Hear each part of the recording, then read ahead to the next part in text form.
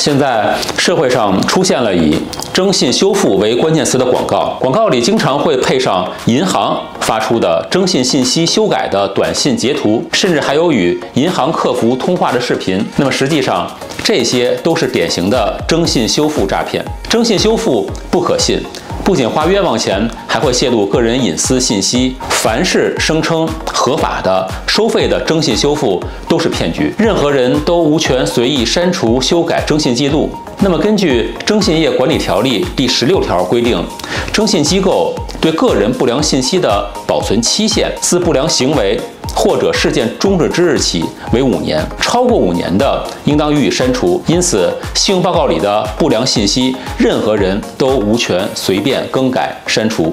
同时，根据《征信业管理条例》第二十五条规定，信息主体认为征信机构采集、保存、提供的信息存在错误、遗漏的，那么我们有权向征信机构或者信息提供者提出异议，要求更正。那么，如果发生逾期，应立即把欠款还上。如果还有贷款、信用卡，那么我们要记清还款日期，做到按时足额还款，定期查询信用报告，主动关心自己的信用记录。如果发现信用记录有问题，应当及时提出异议，以便得到纠正。